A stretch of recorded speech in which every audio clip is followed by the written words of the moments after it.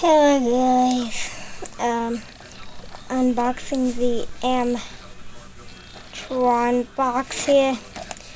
Another Armitron watch. Um, so yeah.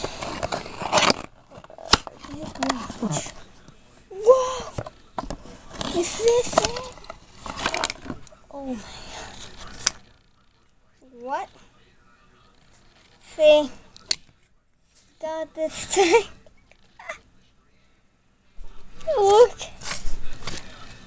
What is this? It even came with a thing. I'm I'm scared. I ooh, but the watch is nice. Oh, let's get this. Let's see the thing. Oh, satisfactory. It is 5.33. Three minutes off, but it's I used the instructions. Um, I like it 20 bucks. 10 year battery?